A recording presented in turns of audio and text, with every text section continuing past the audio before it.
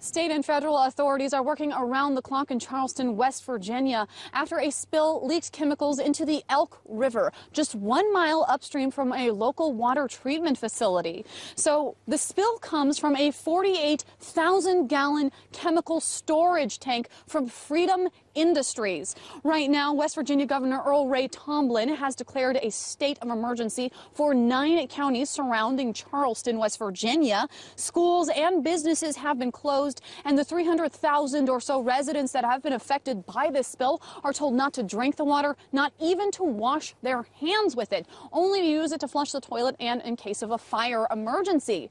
Meanwhile, President Barack Obama has declared a federal emergency in West Virginia.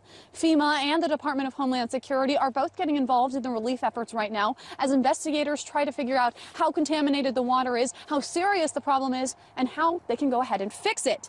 Now, the president of Freedom Industries, the company that actually leaked those chemicals, put out a statement just a little bit ago today, and I want to read part of it. It says, quote, we have been working with local, federal, and safety and environmental entities, including the DEP, Coast Guard, Army Corps of Engineers, and Homeland Security, and are following all necessary steps to fix the issue.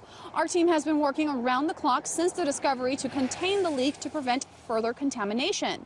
Now, the statement went on to say that the company doesn't know how the leak happened in the first place. It also doesn't know exactly how much of the chemical was released. Now, this chemical is a foaming agent used in the coal process. Coal, of course, is a major industry in West Virginia, and this chemical is actually used uh, right before the coal goes to market in order to clean it. Something else that authorities don't know at the moment is the possible hazards that this chemical has on the human body. So far, no one has been reported reported as experiencing negative side effects as a result of this. However, a number of people have gone to local hospitals to be checked for possible symptoms. But again, no one yet has been reported as being sick. Now, something else to keep in mind here is that some of the symptoms that are involved in this or that authorities are warning residents of is burning throat, itching hands and uh, arms and skin, and a lot of other symptoms that are just really scary to begin with.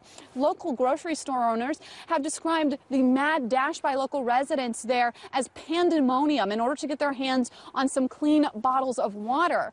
Residents there are even resorting to buying bags of ice and sporting drinks and soda and things like that in order to have something to drink as there is a shortage right now at the moment.